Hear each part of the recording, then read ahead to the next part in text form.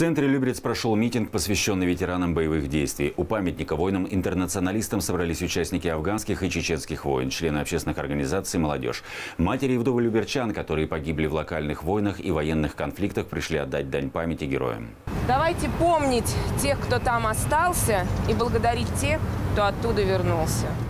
Алексей Никаноров проходил срочную службу 20 лет назад. Тогда, в 2002 году, вместе со служивцами, 18-летним пацаном, он попал в Чечню, где в течение 7 месяцев принимал участие в боевых действиях. Война оставила в его судьбе глубокий след.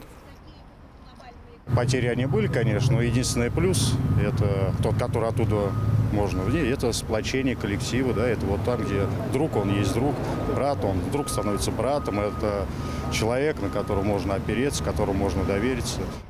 Участники митинга почтили минуты молчания память погибших и возложили цветы к памятнику скорбящему ангелу.